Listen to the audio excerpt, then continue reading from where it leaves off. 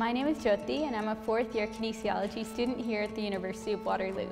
I chose kinesiology here at Waterloo because I love how it combines human biomechanics, physiology, neuroscience, and nutrition all to hone in and give various perspectives on human movement.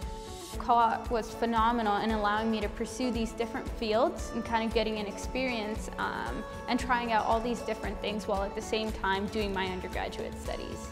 Here at Waterloo, I've been a personal trainer on campus.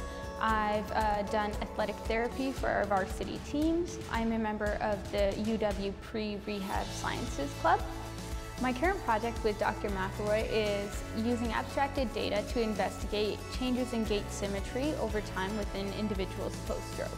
We think this is particularly important because in the future as people get old, uh, one of the things that might influence whether they're fall risk later in life is what their balance is like when they're younger. So Jyoti's study is actually a very first study in the area of individual determinants of balance control and it's quite exciting to have her uh, as an undergraduate student involved in that project. After I graduate, I intend on pursuing a master's in physiotherapy. Long term, I do hope to work in a rehabilitation hospital setting where I get to work with unique populations in an interdisciplinary team.